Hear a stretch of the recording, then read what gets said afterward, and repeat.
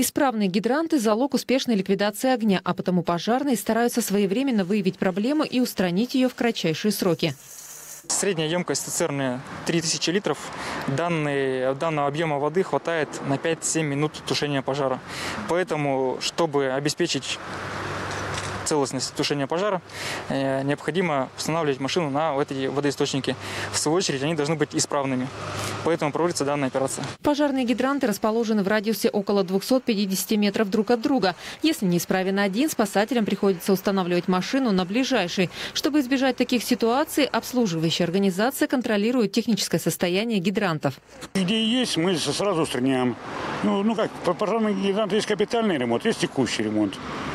Если капитальный ремонт, обычно идет замена под пожарного гидранта. Но если текущий, там, где прокладка, где крепежное соединение, устраняем, меняем. Всего на территории Тобольска расположено 507 пожарных гидрантов. Их количество увеличивается с расширением города. В этом году добавилось 20 источников наружного противопожарного водоснабжения. Спасатели проверяют и подъездные пути к ним.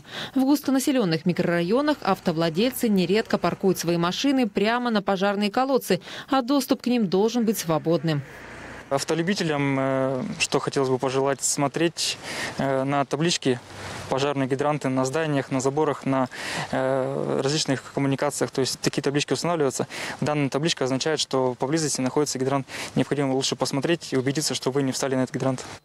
Пожарная служба проверяет гидранты и в Тобольском районе, а затем информирует глав сельских поселений, чтобы вовремя исправить неполадки. Наталья Жукова, Елена Макова, Ярослав Прохоров, Тюменская служба новостей.